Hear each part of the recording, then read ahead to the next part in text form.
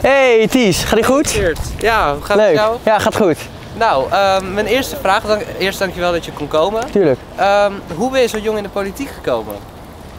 Ja, ik denk eigenlijk gewoon verbazing. Ik, eh, ik dacht altijd als klein kind dat de politiek ervoor zorgde dat iedereen ehm, een goed leven kon leiden. Dat iedereen zich ehm, ja, kon zijn wie die is. Dat iedereen een goede woning kon krijgen. Dat je een goede toekomst kon krijgen. Dat je gelijke kansen kon krijgen. En toen opeens kwam ik erachter dat dat niet zo was. En ik was zo verbaasd. En ik dacht, hier moet iets aan gebeuren. En daar was politiek voor mij de plek voor. Hoe ben je bij de PvdA terechtgekomen? Eh, ja, ik zocht een beetje naar gewoon welke partij bij mij paste. En de PvdA greep mij eigenlijk om twee redenen. Ehm, als eerst eh, de sociaaldemocratie. Eh, de sociaaldemocratie is echt een ideaal. En je hebt in de moderne tijd eh, zijn er constant dingen die zich afwisselen. Coronacrisis, klimaatcrisis. Er zijn heel veel dingen ge- die er gebeuren. En als tweede is de PvdA een partij van doen. Ehm, het is niet een partij van enkel losse statements of zo, maar het is een partij. Kijk maar naar het homohuwelijk. Job Cohen van de PvdA was de eerste burgemeester ooit in de hele wereld die het homohuwelijk tussen twee mannen sloot. In Amsterdam ook nog eens. Eh, dus dat betekent heel veel voor me en dat laat weer zien dat de PvdA echt een partij is van doen. En daarom eh, past de PvdA bij me. Zou je later actief willen blijven in de politiek? Eh, dat, dat ligt eraan. Ik probeer de wereld gewoon elke keer een stukje mooier te maken. En als politiek daar uiteindelijk de plek voor mij eh, voor is, eh, dan heel graag in de politiek. Maar als een andere manier eh, is die uiteindelijk misschien beter bij me past, om de wereld een stukje mooier te maken, dan lijkt me dat misschien wel heel ontzettend goed en leuk en cool om te doen. Dus dat ligt er echt aan. Maar ja, ik ben heel benieuwd wat de tijd gaat brengen.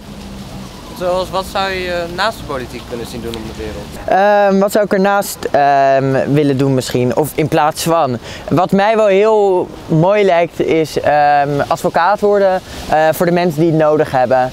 Eh, dus echt de mensen die eh, hulp nodig hebben, bijvoorbeeld die in schulden zitten, door middel van het recht helpen. Ik werk nu bij een ontzettend leuk cafeetje en een sociale onderneming. En daar geven we ook bijvoorbeeld maaltijden of koffies aan mensen die het nodig hebben. Eh, dat vind ik ook ontzettend mooi om te doen. Wat zijn je taken binnen de PvdA? Eh, ik ben op dit moment kandidaat raadslid voor Amsterdam. Eh, dat betekent dat ik kandidaat ben eh, voor de gemeenteraadsverkiezingen eh, in maart. Ehm, en als ik dan uiteindelijk ook echt verkozen word, ehm, dan neem ik echt plaats in de raad, in de gemeenteraad van Amsterdam. ehm, als raadslid eh, namens de Partij van de Arbeid. Waarom vind jij het belangrijk om op te komen voor het klimaat? Eh, ja, wat het is met klimaatverandering, het is een feit. Het is, het, de wetenschap is er gewoon ontzettend duidelijk over.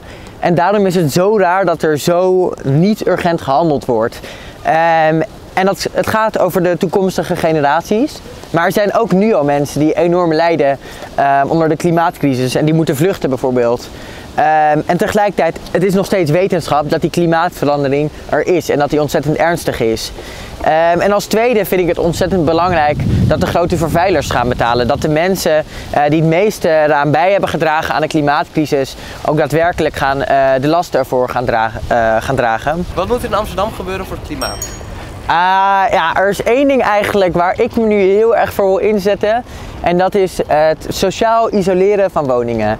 Ehm, dus je ziet ook nu gaan de eh, energieprijzen gaan enorm omhoog. En je moet gewoon woningen gaan isoleren.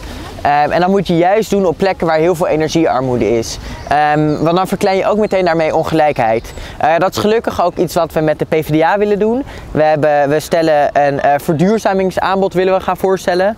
Daar ben ik ontzettend blij mee.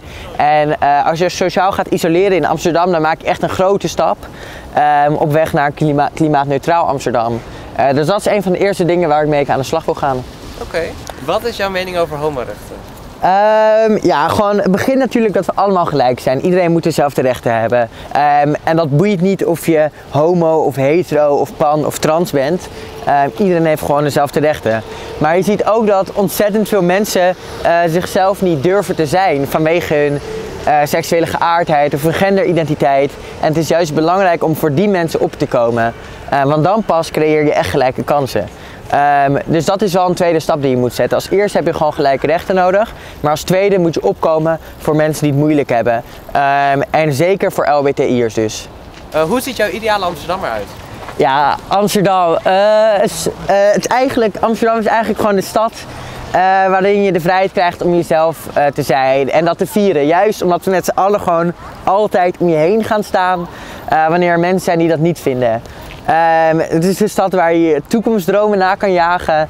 Um, ja, het is gewoon een stad waar het niet uitmaakt wie je bent. Maar wat je nu ziet, is dat dit voor veel mensen niet mogelijk is. Um, huisjesmelkers zorgen dat woningen onbetaalbaar worden, worden voor veel mensen en zeker ook jongeren. Uh, de klimaatcrisis die kan je rechtvaardig en sociaal aanpakken. Uh, maar je ziet dat een soort focus op uh, korte termijn winst dit tegengaat. En ehm, als je eerlijk, als je uitkomt voor wie je bent, krijg je nog steeds ontzettend veel haat op school of op straat. Um, maar het, leuke is dat we dit kunnen aanpakken.